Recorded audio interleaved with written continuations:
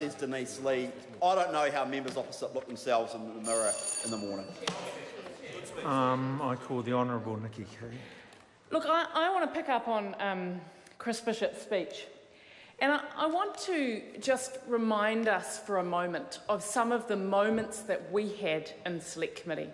Sir Toby Curtis turning to the committee and saying, Could the Prime Minister show some aroha? And I do want to address the Prime Minister this evening. I want to address her because she made comments to our previous uh, Leader of the Opposition, Bill English, to the effect that there could be a pathway for these partnership schools if they followed the curriculum, if they had comparable funding, if they had registered teachers. Here is the reality. These schools were following the curriculum. Many schools in New Zealand don't have registered teachers. They, they have limited authority to teach. These schools had comparable funding. But the reality is, not only did the Prime Minister not follow up on that commitment, but also she never turned up. She morally failed these children.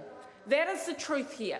She did not visit the schools, she did not keep that commitment publicly, and that is not only it. I look at the Ministry of Education's regulatory impact statement and I object to it.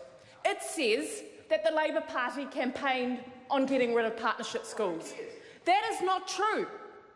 Where were Kelvin Davis and Willie Jackson, who both publicly prior to the election said that they believed in partnership schools. In fact, Kelvin Davis said that he would resign. This regulatory statement by the Ministry of Education is false. It's wrong. The reality is, not only has the Prime Minister failed these children, but also a number of these processes around getting rid of partnership schools have been completely wrong, incorrect, legally improper and I want to talk you through them. The Minister of Education potentially put the Crown at legal risk by announcing that they would all be gone anyway before he had terminated the contracts. Process error number one. The second thing is, for months on end, these schools did not know what their future was, and they were left in a situation of limbo. The next question that I have for the Minister of Education is not only has this been a moral failure, it has been a fiscal failure. And I want the Minister to front up. I want him to front up on the exact compensation costs for these schools, but also the running costs. Because to tell you what I'm hearing, I'm hearing that actually there are a number of agreements made by the Minister and the Ministry of Education that are not being upheld. So not only have these schools been terminated but also there's been some deals behind the scenes that are not being honoured. And I think, I hope that there is a journalist listening. I hope that there are some journalists that will try and uncover that and ask the question is it the case that not only have these schools been terminated, but that we've got legislation being rushed, rushed through when there's a Waitangi Tribunal claim being opposed by a number of iwi leaders, but also that it might not be that the Crown is living up to its deal in terms of some of the things that it offered these schools to become designated character. And I would argue not only is it a moral failure, but it is a fiscal failure. Is it 10 million? Is it 20 million? Is it 30 million? What is the cost of the ideological drive of this government to shut down schools that are helping some of our most vulnerable children? Well, we want to know, and we, won't, we don't want this legislation to go through we want the Minister of Education to stand up now in this House and tell us what is the cost of that, particularly at a time when, when we've got the Prime Minister and the Minister of Education saying to the teachers, there's no more money. There's no more money, there's billions of dollars of surplus, and there's been a whole lot of money for diplomats, but there's no more money for teachers. So why can't the Minister of Education then confirm exactly how much it's cost the Crown, the government, the people of New Zealand to close these schools how much has it cost? And we want to know that. It's a moral failure, it's a fiscal failure, and it's a legal failure. And I want to deal with uh, this Waitangi Tribunal claim. I do have supplementary order papers that try to deal with this. And I would love the Minister to tell this House why it is he needs to push this legislation through this week. Why can't he meet with Sir Toby? Why can't he meet with Dame Iritana?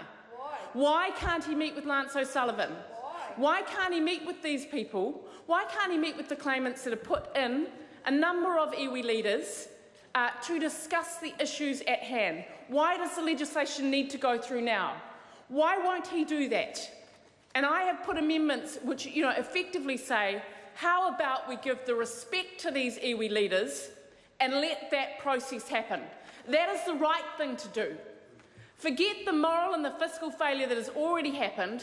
Why are we pushing through this legislation at a time where you have this Waitangi Tribunal claim? Finally, I just want to finish on national standards. Again, as I've said before, you know, ultimately, there are few policies that would affect parents so much, but something that involves reporting about their child's achievement. You would think that there would be huge consultation on that. Well, I've just again gone back to the regulatory impact statement, and it's really clear. It says national standards uh, were um, effectively scrapped on December 13th of last year by this minister. And again, in that regulatory impact statement, it says there was no systematic stakeholder consultation. And so again, I make this point to the minister. Not only is there a moral and fiscal failure about partnership schools, but he has morally failed parents on national standards. Um, I call the Honourable Peeni Henare. Put. Um, I am going to um, take another call, but I am going to let members of the Committee of the Whole know uh, that we've had several um, contributions, and the contributions around uh, partnership school, schools have been well traversed, and I haven't heard any new arguments. Uh, from members, and members might want to turn their attention to other parts of Part 1 um, or come up with new arguments. Um, I call Denise Lee. Mr Chair, I appreciate the chance to take this call, it is just my second call